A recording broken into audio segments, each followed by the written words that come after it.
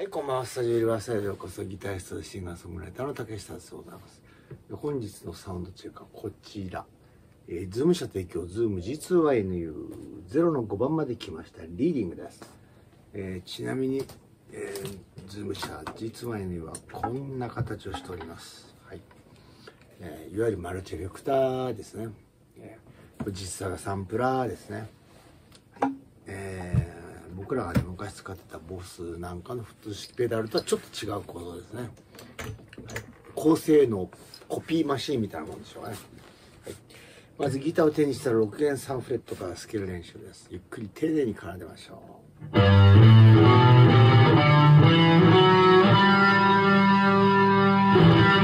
中指で始まり中指で終わります。えー、なぜこの運指を取り入れているかというと同じ運指で2オクターブ奏でられるからです。ゆっくり丁寧に絡んでましょう。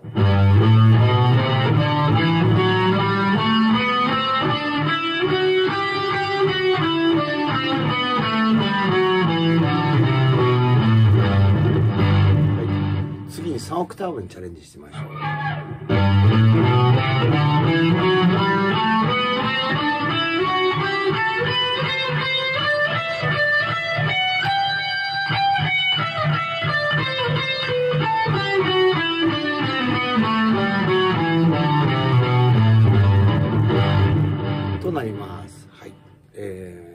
ちなみに3オクターブ目は、えー、先日もお話したように西尾智也さんのアイデアをそのままパクリしていただきました。えー、次にですね、えー、E こちらの循環コードクソ真面目に練習します。 Time is money、時は金なるので、一生懸命練習してちゃんと休みましょう。グーパー、グーパーしたりしてね。はい。で、いってみましょう。ゆっくり丁寧です。 One, two, one、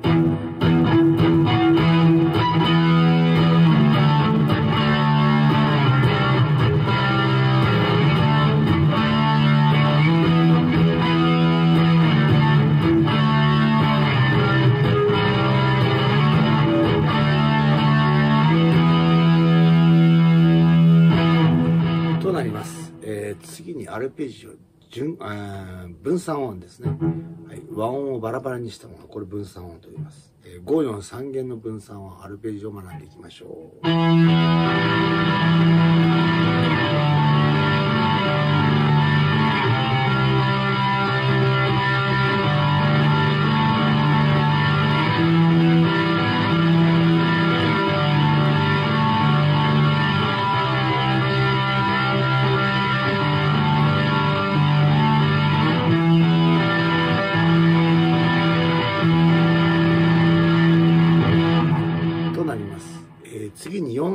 弦のアルペジオ。こちらを学んでいきましょう。物理的に4弦の方が弦が細いので、えー、より繊細なタッチが必要です。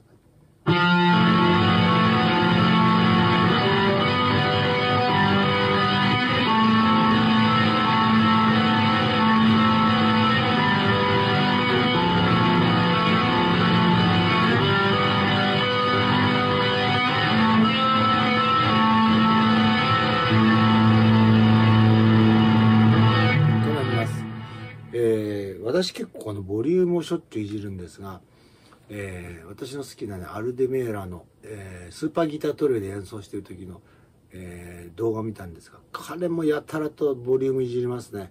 なんでそんなにボリュームいじるんだろうと。そんなにいじると減っちゃうよって抵抗がと思うんですけど、私のボリュームも、えー、やたらと減ります。はい。すいません。いじりすぎですね。これいじいじいじいじってね。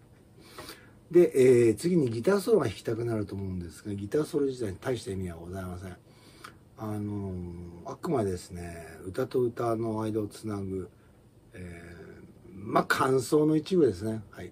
まあ、誰もあなたのギターソロなんて聞いてないと思って、えー、OK なんですがでもちゃんと弾かないとダメです、はい、ゆっくり丁寧に奏でましょう。課題曲としてファイナルカウントダウンを簡単にしたものです。いってみましょう、はい、ゆっくり丁寧です。Thank you.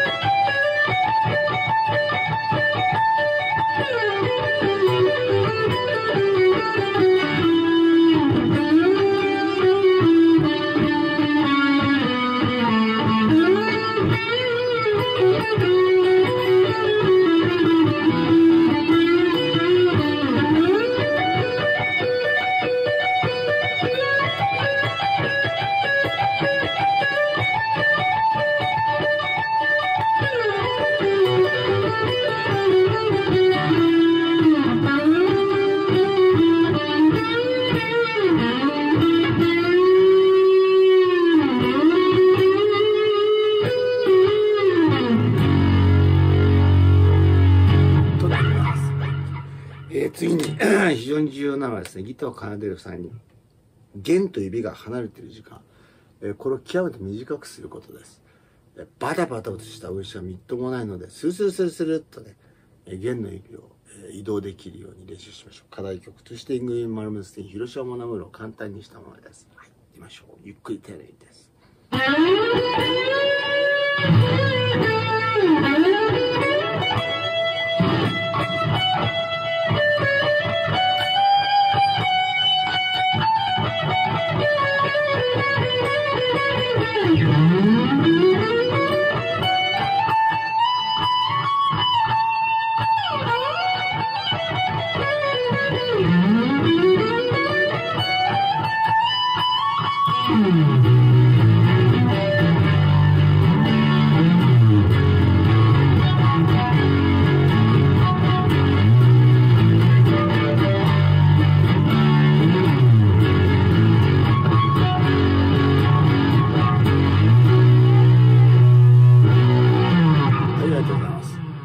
ご覧のギタリストさんね、えー、なんでこの人はこの、この辺をね、フロットピックアップするのかなって思われたかもしれないですが、これはですね、知り合いの、えー、ギブソン系のエンジニアさんから聞いたんですが、仮想24フレット上を弾くのが最も美しい音がするということです。これピタゴラスの定理ですね。私の場合だと24フレットだとここになるんですね。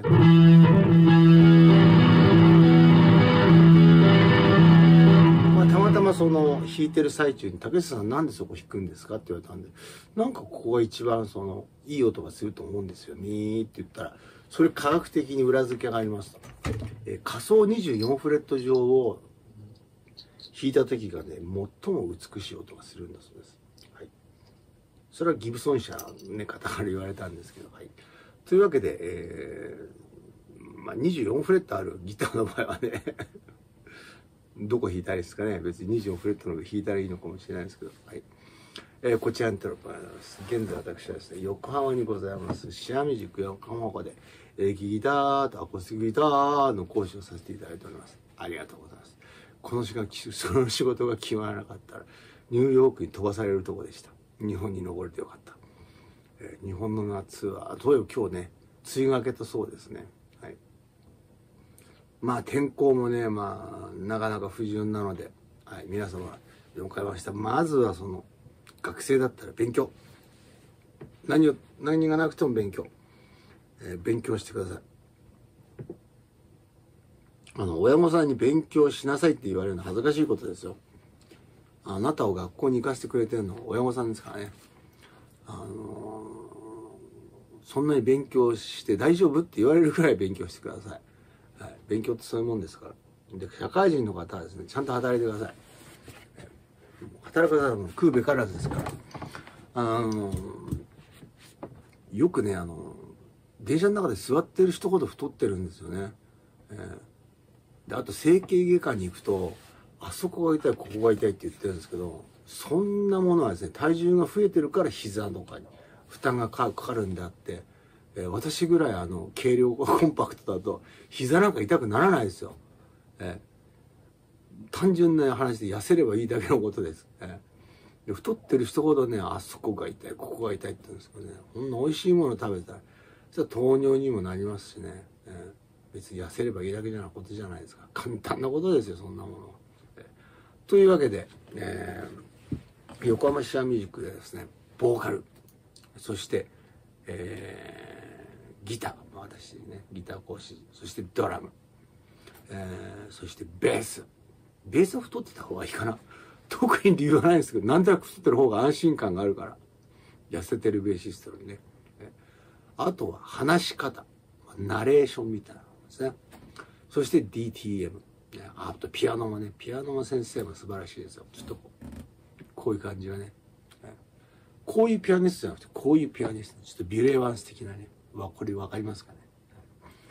えー、もうどの講師も、えー、それぞれの分野のスペシャリストです。そして私がね、あのー、素晴らしいなと思う受付ですね。裏方仕事をきちんとできるっていう人は、えー、とても素晴らしいです。人としてね。えー、私もローディーだったり、えー、いわゆるその、裏方仕事をたくさん、椅子運びとかね、会場設営とかね、やってきましたが、えー、そういったことに手を抜いたことは一度もございません。えー、そういうのはね、どっかで誰かが見てるもんなんですよ。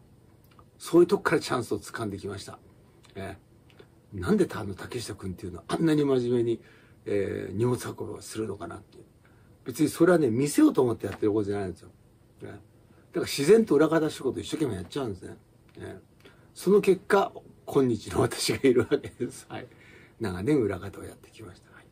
というわけで、えスタジオリバーサイドからお送りいたしました。まずはですね、何かに行き詰まったらシアミュージックにお電話くださいませ。えそのお悩み、シアミュージックが解決いたしましょう。なんてね絶対解決するんで。はい。それでは、横浜シアミュージックでできることを楽しみにしております。ギタリストでシンガーソングライターの竹下敦郎をお送りいたしました。